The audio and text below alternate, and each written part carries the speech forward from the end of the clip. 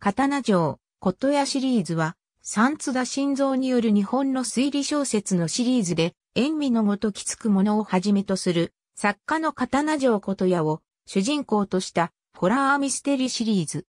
怪奇幻想作家の刀城琴屋が訪れた先々で起こる怪異な伝承に絡んだ事件に挑む。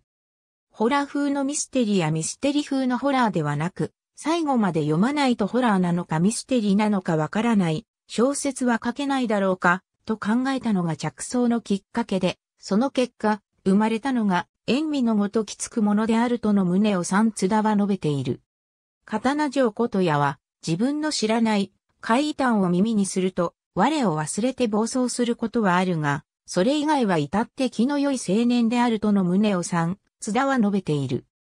民族学的な題材、戦前から戦後の時代設定に加えて、基本的にはミステリーであるという話の内容と、そこに絡むホラー要素の4つを無理なく融合させることが、刀城、琴屋シリーズを書く上で最も苦労するが、そこが楽しみでもあるとの旨を三津田は述べている。原書房と講談社から刊行されている。総画は、基本的に村田治が手掛けている。文庫版の想定は、ウェリーデザインが手掛けている。